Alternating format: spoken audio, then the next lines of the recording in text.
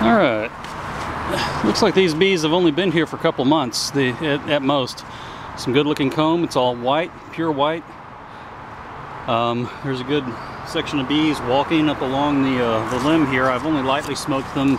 So queen may have gone running already. I don't know.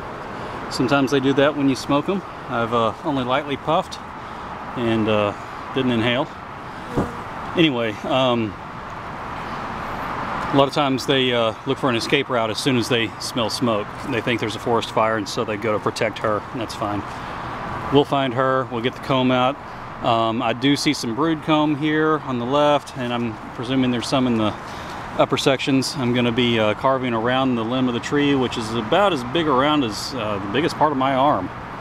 But uh, um, so there's no cutting the limb. We're just going to carve this off of the tree and go from there, get it installed into uh, frames and put into a five frame nook. I think the bees are going to be happy, especially when they realize that it's going to get cold this winter.